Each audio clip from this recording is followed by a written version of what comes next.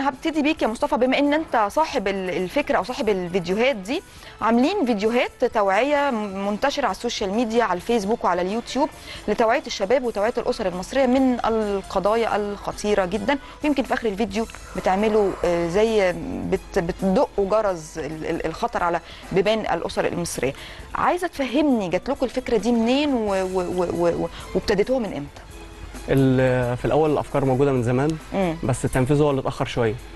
آه، الحاجات ال- الفيديوهات الهادفة آه، بيبقى في قلق شوية منها لأن الواحد لما يجي يعملها لازم يكون يعملها صح حاجة تأثر في الشخص اللي هيتفرج على الفيديو.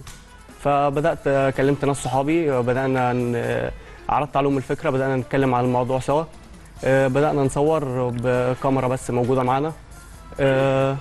الموضوع كان بسيط جدا في الأول بس واحدة واحدة أما الناس بدأت تعلق وتعمل كومنتات آه، الضغط زاد علينا إن إحنا لازم نعمل حاجة أنتوا. كنتوا بادينها في الأول يعني كحاجة for fun ما بينكم يعني أنتوا بتعملوها كحاجة توعوية لل- للي حواليك وصحابكم اللي لاصحابنا حواليك حاجة لينا الموضوع انتشر فجأة. الموضوع انتشر معانا. آه. بدأنا بقى نهتم أكتر إن الحاجة تكون هادفة أكتر آه، ننصح الشباب آه، نعمل توعية للسن اللي أقل من شباب شوية اللي هو الأطفال لأن دي المرحلة اللي هي فيها. الشاب بيبدأ يتجه للحاجات الغلط. مرحلة المراهقة. آه.